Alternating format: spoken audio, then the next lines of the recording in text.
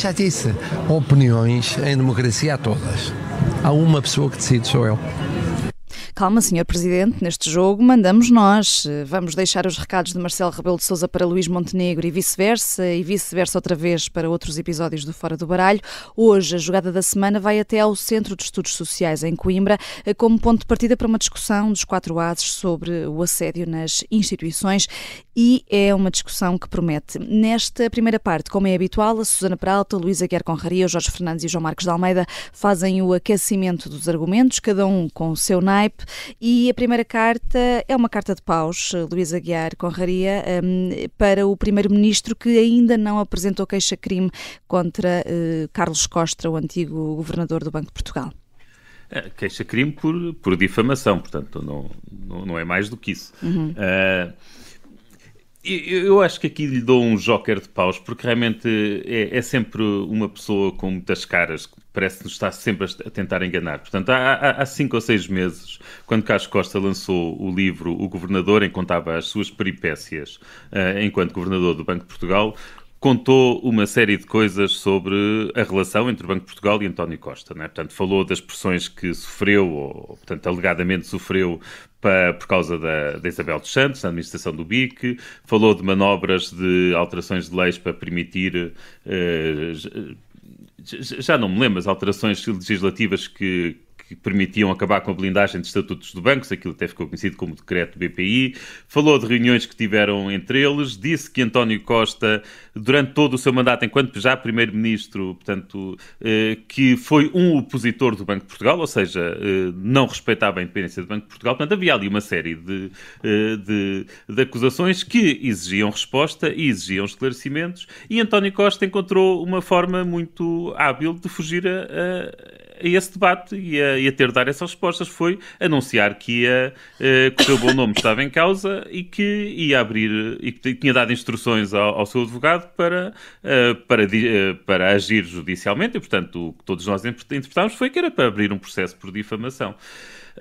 ora, o, o que nós agora sabemos é que já está quase no fim do prazo, portanto faltam para aí três ou quatro semanas para acabar o prazo para, para poder dar entrada a um processo por difamação e nada foi feito ainda. Ou seja, a não ser que haja uma alteração nas próximas três ou quatro semanas, que obviamente não, não é de descartar, o que nós temos é que esta, este anúncio de uma queixa-crime foi uma mera forma de querer de, de evitar ter de responder a, ao assunto que estava em causa naquela altura. E pronto, entretanto, agora obviamente já temos outras coisas para discutir e, portanto, António Costa mais uma vez conseguiu o que queria eh, e, neste caso, atuou como um joker a desviar os assuntos, anunciando algo que, que não fez. Bem, nesse aspecto é, é algo que, tem, que ele tem em comum com muitas das suas políticas, não é? Portanto, ele também anuncia muitas políticas, vai fazer isto e vai fazer aquilo e depois não as concretiza.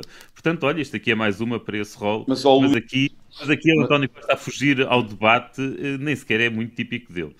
Mas, ó Luís, mas há uma conclusão que podemos tirar, é que se ele não puser uma... Um, não acusar Carlos Costa de difamação, a conclusão que temos que tirar é que ele está a dar razão a Carlos Costa e está a reconhecer que Carlos Costa estava certo. Pelo menos. Aquelas acusações são graves. Ah, pelo menos a hipótese de partida, uma pessoa quando lê aquele livro tem de, partir, tem de ler o livro partindo do princípio que é verdade, naturalmente. Portanto, se é uma pessoa que é importante, que foi governador do Banco de Portugal durante dois mandatos, que até é raro, que esteve no centro de, de decisões financeiras deste país, se conta, uh, se conta uma história, se, temos de partir do princípio que é verdadeira, não é? Quer dizer, não há motivos para achar que é um documento histórico. Hum. Se não é, é contestado, não é. Uhum. É que não é contestado nem na, nem na opinião pública, portanto, o António Costa eh, não esteve a apresentar argumentos, não esteve a dar a sua versão da história, porque precisamente refugiou-se na questão do, do, processo de crime, nem sequer é contestado judicialmente, portanto, sim, é, é, é, temos de partir do princípio que o que o Carlos Costa contou é exato. E António Costa já só tem até ao final deste mês para, para fazer essa queixa. Deixem-me só sublinhar que nem todos os jokers estão sempre a desviar assuntos. Um, passamos para a próxima carta. Uh, Copas, Susana Peralta, para, para os alunos deste país uh, que estão a enfrentar consequências desastrosas da pandemia no que toca à aprendizagem. Sim, eh, são copas para os alunos. Eu acho que Portugal precisava ter muitíssima mais empatia pelas crianças aquilo que nós fizemos às crianças e aos jovens em geral durante a pandemia, durante os anos da pandemia, foi, foi quer dizer, foi, foi, teve consequências muito negativas e, e, vai continuar a ter, não tínhamos nenhuma dúvida. Ou seja, a principal cicatriz da pandemia que nos vai acompanhar por décadas é aquela que os jovens carregam, em primeiro lugar, mas depois foi sempre feita com uma total falta de sensibilidade relativamente ao mal que verdadeiramente se estava a fazer uh, aos jovens e, e, quer dizer, e pronto, enfim, não vale a pena repetir que em 2020 estávamos todos em pânico e que estava a ver que vinham aquelas imagens de Itália e não sei o quê, e portanto eu acho que foi bastante razoável fechar as escolas, de resto em toda a Europa fecharam as escolas, em, todo, em muitos países do mundo, portanto é, não vamos questionar isso, mas vamos questionar várias decisões críticas. A decisão de não se abrir à medida que a primavera avançou em 2020 e no verão de 2020, a decisão de, depois de muitas pessoas como o Luís eh, e eu e outras pessoas termos pedido abram as escolas no verão, levem estas crianças para lá. No verão de 2020 não havia casos de Covid em Portugal para, para começar a apanhar as crianças mais desprotegidas, aquelas que não aprenderam nada ao longo destes meses, não fizeram nada.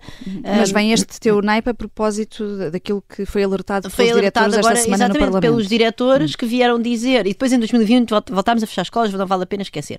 Uh, uh, e, e, há aqui o, o, o, presidente da Associação Nacional de Dirigentes Escolares, Manuel Pereira, que diz esta frase que eu acho que resume tudo: temos receio de perder esta luta. E esta luta é a luta de dar competências fundamentais às pessoas, aos jovens que estão nos, nos, nos graus de ensino mais do ensino básico do, uh, e portanto são, são, isso quer dizer que se essas pessoas não adquirem estas competências fundamentais vão uh, avançar na vida com lacunas que depois não lhes permitem adquirir os conteúdos subsequentes e portanto são jovens que nós vamos lançar alguns no ensino superior, outros no ensino profissional, não sabemos, no, no, no mercado de trabalho, sem de facto terem o nível de capital humano necessário para se ingrar num mundo completamente competitivo. Quer dizer, isto, é, isto é de facto uh, uma, uma péssima, enfim, uma péssima notícia. Por outro lado, eu acho que eu podia estender as copas a estes diretores de escolas e responsáveis de de associações de diretores de escolas que falaram esta semana e que vieram de facto ter a coragem de ir contra o, a linguagem oficial de, de, há uma entrevista do ministro há poucos meses a dizer o plano de recuperação da aprendizagem está a ser um sucesso uhum. temos aquelas provas do IAV a mostrar que afinal havia melhorias nas competências portanto os diretores vêm pedir mais um ano os diretores vêm pedir mais um plano, ano de, de, extensão do plano porque o plano enfim dá, dá recursos às escolas para uh, permitir fazer face a, a, falhas e permitir, no fundo, com mais recursos, mais, mais pessoas, conseguir uh, procurar, não é conseguir, mas pelo menos procurar ajudar os alunos que mais perderam. E mais uma vez, aquilo que se vem a constatar é que são os alunos mais desfavorecidos que mais perderam, porque são aqueles que não tinham o apoio necessário em casa para, uh, para conseguirem ter as suas aprendizagens em casa. Quer dizer, é? isto há três anos, se, for, se fores ver artigos escritos pelo Luís Conraria, pelo, uh, pelo uh, Alexandre Homem Cristo, por mim e por mais imensas pessoas, um, pela Carla Castro da Iniciativa Liberal, que nunca deixou de, de de, trazer este assunto à baila. Quer dizer, nós já sabíamos que isto ia acontecer. Porque é que, de onde é que vem esta inércia deste país uh, em realmente cuidar dos mais fracos e daquelas pessoas que não têm voz, que não têm poder de decisão, que são as crianças? E então ficam aqui as minhas copas sentidas para esta geração, uh, mas também com muito pouca esperança, porque eu acho que poucas pessoas têm copas para dar a estes jovens e certamente os decisores políticos têm muita relutância em estender estas copas para, para usar, usar, vamos dizer, as grandes as manifestações de boas intenções relativamente às gerações mais jovens para fazer aquilo que era preciso fazer, que era dotar as escolas de meios, prolongar este plano, hum. enfim, não sei, fazer o que é preciso para não perdermos esta geração. Uh, uh, o Luís Aguiar Conraria tem não um trunfo, mas uma correção a fazer. Ah, só uma, eu concordo, obviamente, com tudo, ou quase tudo, o que a Susana disse, exceto num ponto. Quando ela disse que éramos imensas pessoas a alertar para isto. Sim, não tens éramos, razão, tens razão. Não éramos, éramos, éramos meia dúzia. Tens razão, tens toda a razão. Tens toda a razão. estávamos nisto sozinhos. O Fernando Alexandre também escreveu, tens toda a razão. Sim, éramos meia O Fernando dúzia, Alexandre escreveu, mas já ao fim de muitos meses. Sim. Quer dizer, eh, sim, a determinada altura mesmo, sim. Mas esse foi, de, olha, este, para mim foi importante ter convencido esse. Não, mas tens razão, tens toda a razão. Éramos poucos, não? éramos poucos, mas, mas quer dizer, mas pois. Mas porquê é que não nos ouviram? insultos é? do Paulo Guinote, de, com suspeições, com, com a, a, dizer que nós tínhamos a mania que sabíamos mais que os outros e por aí fora. É verdade. Dizer, não, e o Paulo uh, Guinote até escreveu no seu blog como se isto fosse inédito. Lembras-te dessa, uma coisa assim, a expressão co... talvez não fosse esta, que, como, como, que não era inédito? Quando é que nós fechámos escolas durante dois anos seguidos? Tens uma razão, Luís. Sim, pronto, é isso. Hum. Uh, um, passamos. Esses alertas foram deixados no, no Parlamento e é ao Parlamento que voltamos agora na próxima carta, uma carta de espadas do Jorge Fernandes. Isto a propósito, Jorge, da, um, da sessão que vai acontecer com o Presidente do Brasil, Lula da Silva, no dia 25 de abril, mas uma hora e meia antes da sessão solene uh, para, para comemorar o Dia da Liberdade. Sim, os partidos de esquerda em Portugal, encabeçados naturalmente pelo PS, conseguiram fazer passar pela porta do cavalo um discurso de Lula de Silva no 25 de Abril. É bom relembrar que a culpa aqui, na minha, apesar, de, apesar de ter parecido, enfim, ter parecido que a culpa era do governo.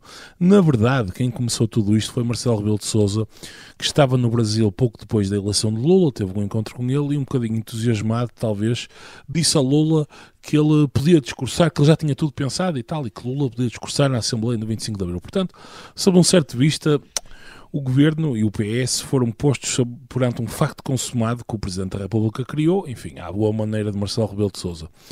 E é pena que isto aconteça, porque só alimenta a polarização em política em Portugal. O Chega não está confortável com isso, a própria Iniciativa Liberal não está confortável com isto, e quer dizer, a, ausência de conforto é, é simples de perceber. Lula já não é figura unificadora e bem vista que foi nos seus primeiros mandatos, em que até Obama o saudava em cimeiras internacionais. Uh, sabemos hoje, com toda a clareza, que Lula e o seu partido estiveram envolvidos em escândalos de corrupção gravíssimos. Por exemplo, José Dirceu, que era o braço direito de Lula e que era, e que era seu chefe de gabinete, confessou a sua participação em negócios, em corrupção, cumpriu inclusive a pena de prisão. Portanto, estamos a falar de uma confissão eh, e, portanto, não há qualquer tipo de dúvida que o, que o crime aconteceu. Eh, para além disso, quer dizer, as posições de Lula sobre a guerra da Ucrânia são no mínimo aterradoras e há uma aproximação claríssima à China, eh, aliás, com esta visita, com esta, com esta tentativa de criação de um, de um banco, de um banco, de um banco alternativo à ordem económica internacional, com Dilma Rousseff eh, finalmente a ser recompensada pelos serviços prestados e agora está na, na, na, chefia desse banco em, em, em Pequim. Um, e, portanto, o conforto de Lula com, com ditadores sanguinários não o aconselham enquanto defensor da, da, da liberdade e, portanto, é lamentável que o Presidente da Assembleia da República tenha preferido seguir com isto em frente e dar a Lula um, papel de destaque no 25 de Abril, apesar de não ser na sessão solene, quer dizer, é no 25 de Abril para todos os efeitos.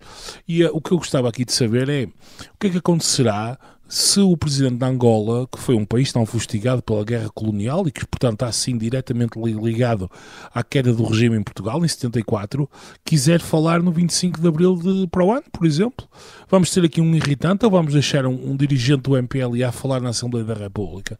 Isto abre um, um precedente que é, que é perigoso e que eu percebo que é bom para alimentar certas almas de esquerda que estão com, com desalentadas mas nada recomenda Lula neste momento eh, e, portanto, é, é mau para, a democracia portuguesa deixar que, uma, que a política partidária ensombre um dia, do, do, enfim, o 25 de Abril, que, que há uns anos atrás parecia ser crescentemente um momento de unificação e, e, de, e de, uma, de uma certa ideia de democracia liberal que havia em Portugal. Mas atenção que o PST também acabou por se mostrar eh, confortável com esta decisão, não foi só a esquerda, e eh, apesar sim, sim, é verdade, é verdade, é verdade.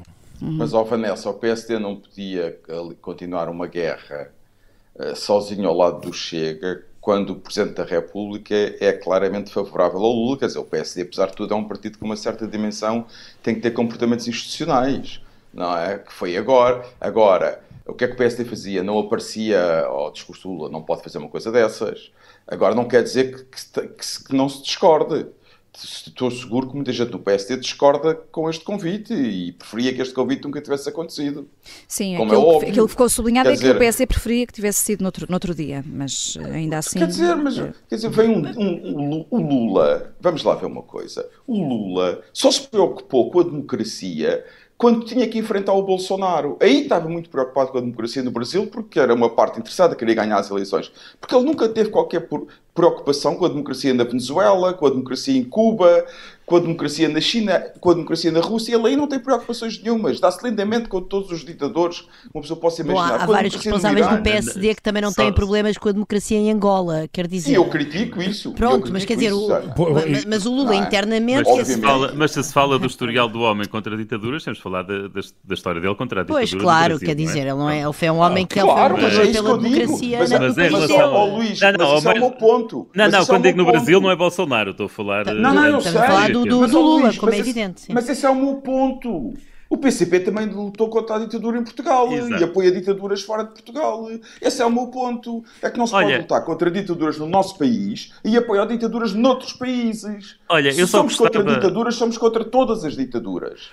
Olha, eu só gostava que o Lula chegasse aqui e fizesse o discurso que quer fazer, que é defender a Rússia e criticar a Europa pelo seu papel. Isso, é, Mas já, isso que pegas, uh, já, já, que pegas na Rússia. E, isso, era, isso era o que aquela gente que o convidou para a Assembleia da República, é o que eles mereciam, é era que ele fizesse o discurso que quer fazer. Mas fazemos aqui um ponto até de. Isto leva-nos a, a Lula da Silva, a Emmanuel Macron, que estiveram na China. Uh, a tua carta, e é que falta agora nesta primeira parte, João Marcos de Almeida, são uns ouros para uh, Ursula von der Leyen pela atitude que teve Também na visita na à China. China. Exatamente. As pessoas esqueceram-se. Sim, é uma rainha de ouros. Dou uma rainha de ouros a Ursula von der Leyen, porque mais uma vez se comportou como se deve comportar o líder de um líder, neste caso ela não é de um país, mas é a Presidente da Comissão Europeia, é uma líder política europeia, eh, de um conjunto de países que valorizam a democracia liberal e o regime democrático. Eh, e, foi à China e, ao contrário de outros, como por exemplo Macron, teve a coragem de dizer uh, certas verdades ao presidente chinês. Uh, não é? Os chineses queriam, e esse era um dos pontos centrais destas visitas à China, os chineses queriam recuperar a ideia, aquele tratado que a União Europeia e a China assinaram em dezembro de 2021, uh, eh, o Tratado de Investimento, de Tratado Económico e de Investimento, que entretanto o Parlamento Europeu por razões óbvias, recusou ratificar e o tratado estava congelado, e os chineses queriam recuperar esse tratado, era o principal objetivo deles, mesmo com a visita de Macron. E von der Leyen foi à China para não deixar Macron à solta e não fazer promessas que depois não se podiam cumprir, e foi muito clara a dizer que não havia condições políticas nenhumas para ratificar o tratado na Europa, o Parlamento Europeu continuava a opor-se, muitos Estados-membros iriam opor-se, sobretudo depois da posição que a China tomou desde o início da guerra na Ucrânia. E isto é que é uma posição coerente e é uma posição corajosa. E eu gosto muito de ver que von der Leyen tem esta posição. Aliás, fico muito orgulhoso que seja uma política de centro-direita que tenha esta posição, mas acho que políticos de centro-esquerda, como Lula, ele diz que é de centro-esquerda, para mim é de extrema-esquerda, e, e outros como Macron tivessem posições semelhantes. E em relação a Macron, nesta visita, que foi, teve um papel lamentável, Macron, lamentável porque foi cúmplice do regime chinês no modo como conseguiram secundarizar a visita de von der Leyen, dando o brilho todo a Macron. Macron fala muito, gosta muito de falar da independência estratégica da União Europeia. E depois fez comentários absolutamente absurdos sobre Taiwan e sobre os Estados Unidos. Mas, Mas se a França é muito séria, uhum. só, só terminar, se a França é muito séria em relação à independência estratégica da União Europeia, então eu deixo uma, duas sugestões aos franceses. Que abdiquem do seu lugar de membro permanente no Conselho de Segurança das Nações Unidas e deem esse lugar à União Europeia. Fica esta Como em privado, do... muitos alemães já sugeriram. Uhum. Em segundo lugar, os franceses que coloquem as suas armas nucleares ao serviço da defesa europeia e não apenas da defesa do território francês. Duas sugestões do João Marcos de Almeida Exatamente. que Se dá... quer a mesma independência estratégica Sim. da União Europeia. Uhum. A Ursula von der Leyen já foi rainha de copas, agora é rainha de ouros. Voamos da China até Coimbra na segunda parte, talvez ficamos de olhos ou ouvidos em bico.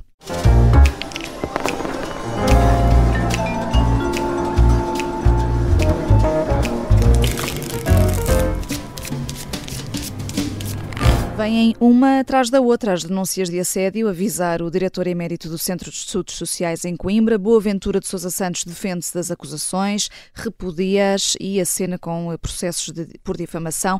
Este caso está a motivar uma discussão sobre os abusos de poder nas instituições em Portugal. É ou não um problema generalizado? É a pergunta que deixamos também a quem nos ouve via Spotify. Pode responder, senhor ouvinte, na eh, aplicação a uma sondagem eh, com esta pergunta.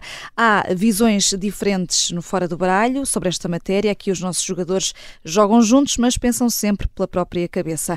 Um, Susana Peralta, esta semana no explicador, eh, aqui na Rádio Observador, já tinhas frisado que sim, que isto não é só um casinho, o problema tem uma dimensão muito maior a nível nacional mas já lá vamos a essa parte. Primeiro, uma análise aqui um, a este caso Boaventura Sousa Santos, a este em específico, em particular, e também, eh, já agora, a reação do Conselho de Reitores e do gabinete da Ministra Elvira Fortunato, que, de resto, emitiu duas respostas em dois dias.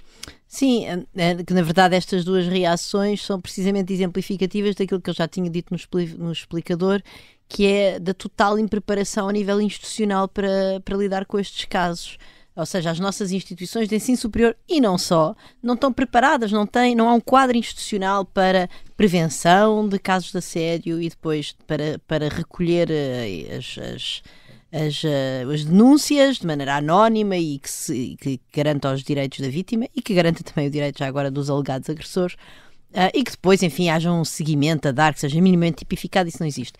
E é desse ponto de vista que esta reação dos reitores uh, e depois a reação também do Ministério são verdadeiramente descabeladas, porque uh, estas eram as instituições que deviam levar a cabo este trabalho de desenho, ou seja, dizer, bom, há aqui um problema e nós, a partir de agora, vamos estudar as melhores práticas internacionais e vamos obrigar as nossas instituições de ensino superior a ter os mecanismos que existem lá fora, que não são perfeitos, que não evitam o assédio de maneira nenhuma, mas que apesar de tudo fazem com que estas coisas se passem num ambiente mais, uh, mais que, que, transmite mais segurança, vamos dizer assim, e que de alguma forma empodera, apesar de tudo, dentro de todos os limites destas, destas coisas, as vítimas para se chegarem à frente e para poderem denunciar. E, e isto também é muito bizarro. Por isso, os reitores vêm dizer que, que as, as, denúncias têm que ser investigadas do a quem doer e que a prioridade tem que ser apoiar as vítimas. Bom, eu devo dizer que isto é muito positivo, porque o, o, o, o comunicado do SES não menciona as vítimas nem numa linha. Hum. Nem numa linha, isto é inacreditável. E eu li e-mails das, das, das mailing lists do SES um, de pessoas sénior com, enfim, que já tiveram responsabilidade no, no SES, inclusivamente uma mulher, que eu cito no meu artigo do público de hoje, uh, que também dá, portanto, manifesta toda a sua solidariedade aos acusados e não às vítimas, mais uma vez, o que me parece, o que me parece um, um sinal de que, de facto, as instituições estão nisto para protegerem a sua reputação e para sobreviverem muito mais do que para fazerem qualquer processo. E pronto, e, e eu acho isto bastante estranho, porque quer dizer, os, os reitores agora Uh, estão preocupados e atenção, eu admito que eles estejam genuinamente preocupados, como é óbvio, ou seja, o mundo não é, não, não, não é um mundo de tarados, predadores sexuais ou protetores de predadores sexuais. Agora, quer dizer, então e há um ano, quando apareceu aquele escândalo na Faculdade de Direito, não é? Quando Miguel Lemos foi vítima de um processo disciplinar devido a ter criado um canal de denúncias. Nessa altura, onde é que estavam os reitores? E, e, no, e no, último ano, o que é que fizeram? E do Ministério do Ensino Superior. O que é que fizeram ao, ao longo deste ano? De, Antes, oficialmente, não existia em Portugal, como é óbvio que existe. Se existe em todo o mundo, também existe em Portugal. As relações de poder criam situações uh, que potenciam o abuso, portanto, isso não vale a pena. Agora, não havia, digamos, não havia uh, fumo. Certamente que havia fogo, mas o fumo não estava lá. Neste, desde há um ano para, cá há fumo por causa do que aconteceu na Faculdade de Direito. E estas pessoas não fizeram nada e agora vêm de novo fazer uma manifestação de intenções. Um, a, a, a, a, declaração da, do Ministério do Ensino Superior, a primeira de todas, a dizer não nos chegou nenhuma queixa, mas como é que vos chegou alguma queixa se os vossos canais de queixa não estão especificamente desenhados para este tipo de queixas? Como é que vos chegou alguma queixa se nas nossas universidades não há formação, não há sensibilização para este tipo de situações? Portanto, Sendo que esse primeiro comunicado, essa primeira resposta falava no esforço das instituições e das universidades, mas tu não... E tem que haver Não consideras que haja propriamente não um, há esforço, esforço nenhum. para, Onde é que há para criar esforço? esses mecanismos? Não há esforço nenhum. Ontem havia uma jovem da Faculdade de Farmácia, citada aqui no Observador, que dizia que a, que a faculdade tinha criado um canal de denúncias, mas tinha pedido aos alunos para não divulgarem, porque depois não sabiam o que é que haviam de fazer com aquilo. Portanto, o esforço tem que ser um desenho institucional e esse desenho institucional tem que ter uma vertente de comunicação, de sensibilização e de explicar às pessoas Uh, o que é que é uma situação, o que é que constitui uma situação potencialmente de abuso, o que é que não constitui? Uh, e, no fundo, que tipo de denúncias é que nós queremos ouvir uh, de vós, porque também a ideia não é, obviamente, enfim, criar um, ambiente puritano nas faculdades, onde o sexo consentido entre adultos não seja, não seja bem-vindo, como é óbvio. Portanto, as pessoas têm que aprender a distinguir onde é que está o abuso e isso tem que ter uma política de comunicação. E estas instituições com poder, tal como a A3S, quando também veio falar do assunto, quer dizer, então que forcem de facto esse desenho institucional. Não venham dizer, ah, agora vamos, vamos perseguir, vamos, como é que é, apurar os factos e vamos apoiar as vítimas. Não! Criem uh, criem mecanismos institucionais para procurar mitigar o problema daqui para a frente. Hum. Uh, João Marcos de Almeida, uh, se tivesses de escolher uma carta, uh, era de espadas, já agora qual, para, para Boaventura Sousa Santos? Era de espadas, seguramente, uma qualquer, mas era de espadas. Porque há, eu acho que há aqui várias questões. Vanessa, tu começaste por falar em abuso de poder, não foi? Bom, o assédio sexual é uma das formas de abuso de poder, talvez uma das mais graves. Mas há outras igualmente graves. E o que parece é que uh, Boaventura Sousa Santos era uma pessoa que abusava do seu poder e do poder que tinha na instituição que dirigia. Havia um abuso de poder, quer dizer, havia, há outras formas de abusar o poder. Seguramente que o SES não é uma instituição pluralista, não era uma instituição que promovia uh, a divergência de opiniões, uh, não era uma instituição que permitisse que pessoas com opiniões radicalmente diferentes das de Boaventura Sousa Santos progredissem dentro da instituição. Portanto, tudo isto leva a práticas de abuso de poder. Eu acho que o assédio sexual é talvez a forma mais negativa e pior de abuso de poder. Porque, no fundo, o que nós estamos a falar, e, e também aqui convém ser claro, quer dizer, ninguém está aqui a dizer que Boaventura Sousa Santos andava a violar mulheres. Não é isso. Mas o que parece claro de todos os relatos que temos visto, e, e Boaventura Sousa Santos também não, não, não tem reagido publicamente, diz que vai pôr ações em tribunal, como disse o Luís na primeira parte, vamos ver se ele não repete o que António Costa fez e, e depois não põe ação nenhuma, vamos ver. Ah, mas o, o, um, um assédio sexual é basicamente uma pessoa abusar da posição que tem, uma posição de poder, de, de superioridade hierárquica, para procurar forçar uma outra pessoa a, a, ter uma relação sexual. É isso que é assédio sexual.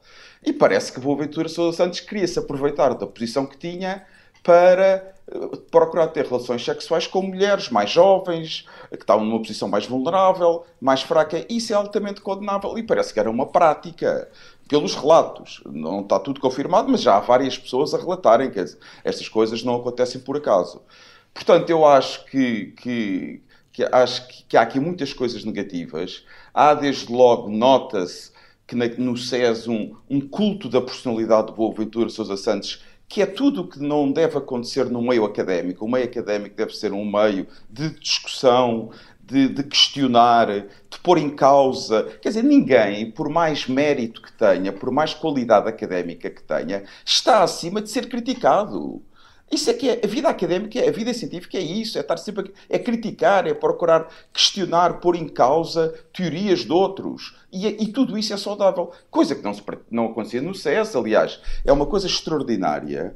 Boaventura Sousa Santos esteve 40 anos à frente do SES. 40 anos à frente de uma instituição universitária. Mas isto é uma instituição universitária. Quer dizer, Boaventura Sousa Santos é o Stalin de Coimbra. Muito bem. 40 anos à frente de uma instituição académica. Onde é que isto se vê? Mas isto faz sentido em algum lado do mundo? Uma instituição que é académica tem uma pessoa 40 anos à frente Mas é uma instituição, que tem, uma, uma tem um estatuto esquisito, não é? É uma instituição aparentemente de direito privado. Mas recebe pouco. Não, não, não, eu estou de contigo, João. Estou a dizer isto. Isto para mim, isto para mim junta, junta-se a densa a, a, estranheza, ou seja, porque é que há ali um. É uma espécie de feudo, no fundo. Eu estou, eu estou a concordar contigo é e não o contrário. É uma atenção. instituição é uma feudalizada. Sim, é um feudo de Boaventura outra... Santos. Está aqui, tens aqui o teu, a tua instituiçãozinha, toma lá, é uma coisa separada, mas ao mesmo tempo a Universidade foi sempre Coimbra, apoiada. Claro, foi claro. sempre apoiada pela Universidade de Coimbra, foi sempre apoiada por meios acad... outros meios académicos em Portugal. E depois há, outra, há outras coisas que me irritam solenemente. É, é a hipocrisia de Boaventura Sousa Santos, não é? Que escreve sempre artigos alta, com uma linguagem altamente moral, a pôr sempre do lado justo e correto contra os injustos que andam a, a prejudicar o mundo, não é? Tem aquelas, aquela posição de superioridade moral e arrogância moral que é absolutamente irritante, quer dizer, e depois tem estes comportamentos, é chamada mesmo virtudes públicas e pecados privados, que é uma coisa altamente irritante, não é? é foi protegido, foi uma pessoa sempre protegida em muitos meios académicos, e agora, se se confirmar que realmente abusava do assédio sexual, não é? além de ter sido o Stalin de Coimbra, passará a ser o Trump de Coimbra. Portanto, olha, é, pode ser este o final de vida de Boaventura Sousa Santos e que se confirmar tudo o que tem-se relatado, não, é justo que seja assim esse final de vida, que é uma hum. pouca vergonha. É, é importante ouvirmos aqui também o Luís Aguiar Conrari, que de resto é o único as de fora do baralho, que é de Coimbra, e, e Luís Boaventura Sousa Santos era professor na tua faculdade. Mas é... Vanessa, mas eu dei aulas na Faculdade de Economia de Coimbra, de Relações Internacionais e Ciência Política. Portanto, tu foste colega de Boaventura. Foste colega do Stalin. Aliás, eu devo ter sido, eu, mas eu devo ter sido a única pessoa de direita que deu aulas na Faculdade não, de Economia. Não, não, há mais, há mais. Não, isso não é verdade. Há mais? Não é verdade. Ah. ah. Eu não os vi, eu não os conheci.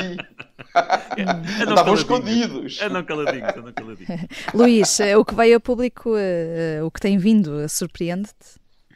Uh, quer dizer, eu, eu, não tinha conhecimento do, do, do, que veio a público. Ele tinha um bocado a fama de engatatão, mas isso é uma coisa, outra coisa é o. Ou, ou pelo menos outro patamar é aquilo que tem vindo a ser descrito e, portanto, uh, não e ainda ele não foi meu professor. Eu, eu, por acaso, o ano em que eu tive, em que eu teria a cadeira dele, ele estava de sabática. Portanto, ele nem sequer eh, foi mesmo meu professor. Eh, agora, era evidente que ele era uma figura, era uma figura daquela faculdade, e o SES teve sempre um peso naquela faculdade, até porque uh, o. A malta de economia, digamos assim, tinha sempre, teve sempre um grande inveja em relação ao peso que, e à importância que o SES tinha, porque o SES, um bocado como também estavam há bocado a, a, a explicar, ali em Coimbra tornou-se uma máquina de captar dinheiro e fundos europeus. Quer dizer, o, Boaventura de Sousa Santos não só era uma pessoa de países capitalistas, Luís. De países, de países capitalistas, sim, fundos europeus, não é? Uh, portanto, o, ele não só tinha um prestígio científico que foi conseguido, e, e penso que bem, que não há contestação em relação a isso ali no, nos anos 80, com, com teorias bastante originais, mas depois, de facto, conseguia manobrar muito bem num país capitalista e, e terá sido as pessoas que mais beneficiou deste neoliberalismo desenfreado que, que, de, que, que tanto critica na Europa. Ele e o SES portanto, o instituto que ele criou. Uh, mas o, o, o, para mim, eu, eu, quando li aquela, quando eu li a, a reportagem da, do Diário Notícias da Fernanda Câncio, uh, há um parágrafo que que eu achei extraordinário e quero trazer para aqui. Uh, porque eu nunca percebi muito bem o que é que faziam no SES. Nunca percebi muito bem o que é que dali saía, qual é que era a atividade científica que justificava serem um laboratório associado, que justificava uh, os financiamentos que conseguiam obter, os doutoramentos que davam. Uh, e então, isto, isto veio a propósito de uma das pichagens que apareceram e depois rapidamente foram apagadas na, no SES, e essa passagem é. Essa pichagem, portanto, esse grafite que fizeram é, é engraçado. O que dizia era: a linha abissal passa no teu cu. Uh, e, e, pronto, mas não percebe que, é que linha abissal é que estão a falar, então aqui o. o Bom, isto o depende bastante do cu, não é? E da linha abissal. Mas a minha dúvida aqui é a linha abissal, porque eu não sabia o que era a linha abissal. Mas isto é muito interessante, uh, porque, e agora estou a ler diretamente do Diário Notícias, remete para a expressão usada pelo sociólogo para designar as linhas cartográficas abissais que, de, que demarcavam o velho e o novo mundo da era colonial e que considera subsistirem estruturalmente no pensamento moderno ocidental, associando a injustiça social global à injustiça cognitiva global e concluindo que a luta por uma justiça social global exige a construção de um pensamento pós-abissal. isto não se percebe nada. E realmente percebe-se que, quer dizer, isto não, isto não e anda a União Europeia o que é que eles fazem? Portanto, a, a, missão deste, do SES, eu, quer dizer, eu só agora é que percebi porque é que nunca percebi o que é que eles faziam. Porque eles andam dedicados a tentar construir um pensamento pós-abissal. Uh, portanto, quer dizer, claramente não fazem ciência, uh, nem ciência, nem no sentido da ciência mole, das ciências sociais, portanto, não estamos, obviamente, a falar das ciências duras, mas o, o que fazem não tem o mínimo uh, não, não tem o mínimo rigor científico, não, não é legítimo chamar aquilo que eles fazem uma ciência social. Mas ainda por cima, não só aquilo que estamos a ver é que não fazem ciência, mas também não servem para mais nada. Quer dizer, ao menos podiam uh, ser ativistas, não é? Portanto, é, é, ou podiam ser ativistas consequentes, quero dizer, porque os ativistas são, mas ativistas consequentes que, já que se preocupam tanto com, com, é, com, com tanto na luta contra o patriarcado, criar os mecanismos uh, internos para lutar contra o patriarcado, mas eles nem para isso servem. Portanto, eles não servem nem do ponto de vista uh, científico, nem do ponto de vista uh, nem para passar a sua ideologia à prática. Portanto, não fico, fico perdido sem saber qual é, qual é a utilidade do SES. Hum, e será abissal uh, o comunicado, a carta de sete páginas que Boaventura Sousa Santos escreveu, uh, em que termina, de resto, uh, termina essa carta anunciando o tal processo de difamação contra as três investigadoras que fizeram as, as primeiras denúncias que chegaram a, a, ser notícia. Isso foi tudo num capítulo de um livro. Será abissal? Jorge Fernandes, leste o comunicado com atenção, mas antes vamos até ouvir aqui um excerto de uma masterclass de Boaventura de Sousa Santos sobre as epistemologias do Sul. As epistemologias do Sul são um conjunto de práticas cognitivas e de critérios de validação do conhecimento a partir das experiências dos grupos sociais que têm sofrido de uma maneira sistemática as injustiças do capitalismo, do colonialismo e do patriarcado. Portanto, é a partir desse sofrimento desse sofrimento sistemático, que não tem uma cara, tem várias caras, que fazemos uma proposta alternativa de um ponto de vista epistemológico. Jorge Fernandes. Eu, eu acho que este, este, este bocadinho que passamos aqui resume a ironia, a profunda ironia de tudo isto e a profunda hipocrisia de Boaventura de Sousa Santos ele tem uma, uma, uma, carreira internacional notável, é o cientista social português mais influente sempre, quer dizer, ele criou uma escola de pensamento do qual é o guru, tem aqueles discípulos todos espalhados, principalmente pela América Latina, que o adolam, quase como se ele fosse um, quase como se fosse numa igreja evangélica, digamos assim. Aliás, eu recomendo, há vídeos no YouTube absolutamente fascinantes, e ele, ele a cantar rap, o rap global, é, uma, é maravilhoso. Agora, o que acontece? O SES verdadeiramente é um projeto político travestido de ciência, quer dizer, houve ali uma. Ele conseguiu, de forma bastante inteligente, eh, fazer do seu projeto político um projeto político terceiro-mundista e alternativo, à, digamos, à, à, nem é ao liberal, à democracia liberal e civilizada, tal como nós a conhecemos, e criou uma linguagem e que, que é muito. Eu, eu acho que a profunda ironia de tudo isto é que as autoras do capítulo que, que deu origem a tudo isto e que de resto eu quero aqui saudar a reportagem que Fernanda Câncio fez no Diário de Notícias, porque sem essa reportagem nada disto com esta dimensão teria acontecido, mas esse capítulo de facto, eh, é, a ironia do capítulo é que utiliza a própria linguagem que Boaventura criou, mesmo do ponto de vista plástico, para desmascarar tudo aquilo e a carta, a reação dele na, na, na, na carta aqui de sete páginas que fez, volta a utilizar esta linguagem das epistemologias do Sul, do neoliberalismo, da ideia que existe uma campanha dos agentes do neoliberalismo eh, contra ele, que é uma voz que luta e que expõe as injustiças do mundo. E, portanto, é, é muito. Ele fez, fez a carreira a defender os oprimidos e os mais fracos, e agora, nesta hora difícil, continua a utilizar os oprimidos e os mais fracos para uh, conseguir, de alguma maneira, contra-argumentar. E, e, quer dizer, o SES foi montado, aliás, indo de volta aqui ao que, está, ao que estávamos a ser falado, o SES foi montado como uma instituição de direito privado porque o Aventura, inteligentemente, queria contornar muitas da. Sabemos bem, quem anda na universidade, uh, muitas da, dos constrangimentos da utilização dos financiamentos públicos. Não estou a dizer aqui que há nada de ilegal, mas queria ter a liberdade para contratar e para pagar o que quisesse, etc.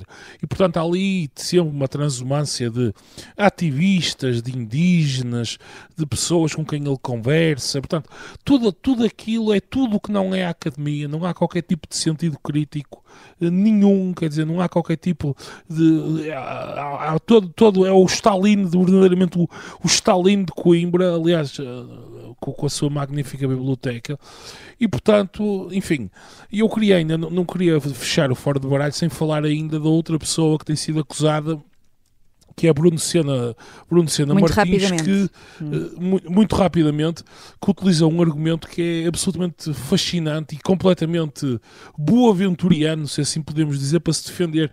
No fundo, assim traduzindo por miúdos, o que ele diz é: bem, eu, como sou uma pessoa racializada, ele é negro, uh, não, não, é impossível eu assediar, violar ou fazer mal a alguém, porque uma pessoa racializada, por definição, não comete qualquer tipo de injustiça porque ela própria é vítima de injustiça tudo isto é, é fascinante. Eu estou verdadeiramente a gostar de todo, esta, todo este filme porque que, é. quem, com metros, quem com ferros mata, com ferros morre. Parece que ainda vai dar para, para mangas. Luísa Guerra Conraria, só para finalizar. Pegando nisto que o Jorge disse, do Bruno Sena Martins ter queixado de racismo e Boaventura Sousa Santos queixar do neoliberalismo, deixa-me citar Eugénia Galvão Teles, que escreveu esta, esta frase simples no, no Facebook. Sempre é refrescante descobrir que o clássico ela é que tinha uma mini saia muito curta e estava toda decotada, foi substituída por ela é um fantoche do neoliberalismo e culpada de racismo sistémico e machismo insidioso. Hum. Pronto, e tem razão. Uh, terminamos assim o Fora do Baralho. Uh, queríamos muito também falar aqui sobre os mecanismos certos para lidar com o problema do assédio sexual, mas certamente teremos outras oportunidades. Se nos ouve no Spotify, responda à pergunta: o problema do assédio é generalizado ou não nas instituições em Portugal? Todas sabemos, foi como começou este caso em 2018, com paredes pintadas em Coimbra junto ao SES. Agora, cinco anos depois, é que está a ganhar outra dimensão. Até onde e com que consequências ainda não sabemos. O que sabemos é que o Fora do Baralho está de volta na próxima sexta-feira ao meio-dia. Eu sou a Vanessa Cruz. Até para a semana.